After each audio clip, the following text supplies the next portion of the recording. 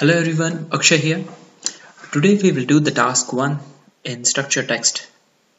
If you love uh, C programming, then this language is for you and the major advantage of this language is that you don't require a software environment like Unity Pro XL to write the program. As you can see from the, we have done the program in the ladder diagram, you require special symbols to write the program. But for structured text, you just require a notepad and you can simply write it. So you will get the things clear after we do the program in structured text. Go ahead. In a section say new section task 1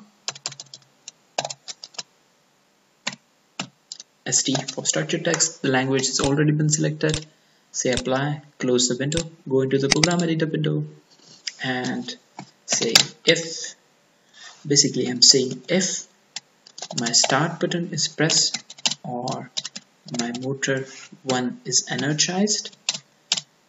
And at the same time my stop button is not pressed.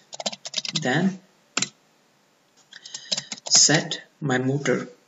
This is the assignment operator that is motor 1 sorry. This is my assignment operator. Colon is equal to 1 and else if this condition is not satisfied? Do this do what is set the motor 1 assignment operator to 0 that is off the motor.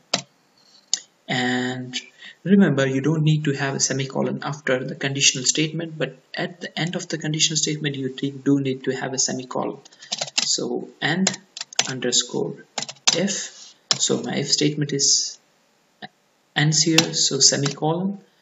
So my motor 1 will start? What about my motor 2 it should start after a delay of 5 seconds so I need to have a timer go into the FFB assistance type TON TON enter.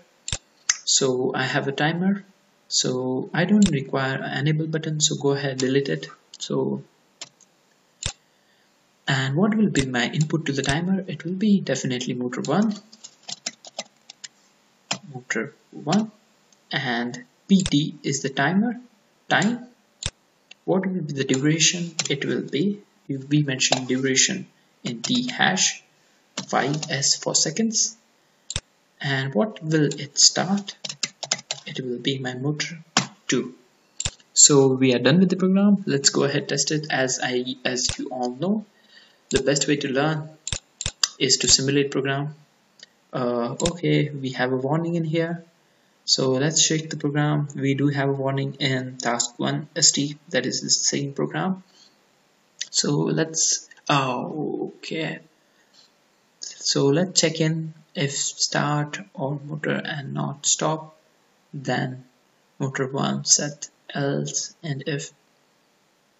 Uh, yeah I haven't got rid of that bracket so let's go ahead rebuild it.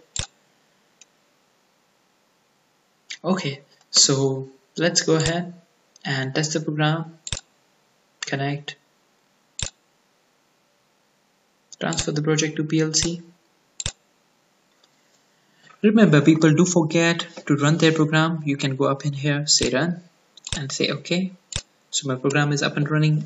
So let's test the start button highlight it set it value to 1 my motor 1 has already started. My motor 1 should start in while now. Yeah my motor 2 has started.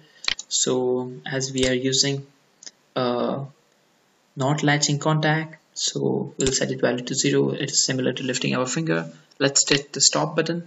Set it value to 1 yeah my both the motors have stopped now so you have seen how easy it was and uh, how the software or how the PLC executes the program is from top to bottom left to right so if you are happy with C programming, then this language is for you. Do try this and have fun learning. Enjoy your rest of the day.